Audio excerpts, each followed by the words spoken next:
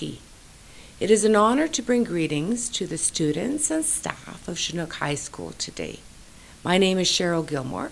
I'm the superintendent of Lethbridge School Division.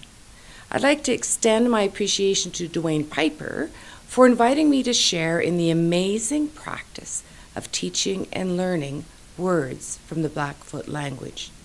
Today's word is Chinook. The name of your school, one that you can say with pride, was chosen among a list of dozens of schools' names submitted for consideration.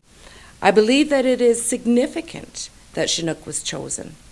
Chinook is an integral aspect of the natural elements that define the place the school was built on.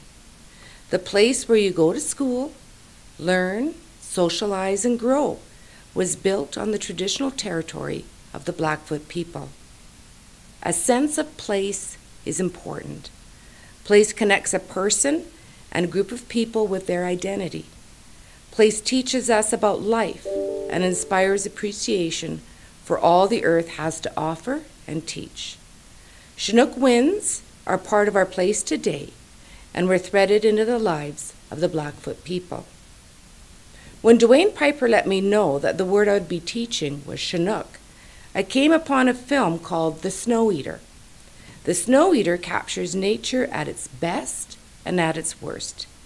The film tells a story about the fierce wind that the Blackfoot characterize as the spirit called Snow Eater. In the dead of winter, the Snow Eater roars down off the Rockies, hot, dry, and thirsty. Chinook winds are a force that we embrace and a force that we battle with. They are fierce, but they bring welcomed warmth that lessen the icy clutch of winter. Chinook. That is the word you are gifted with today. Siksopoi. Siksopoi. Siksopoi are part of place and who you are.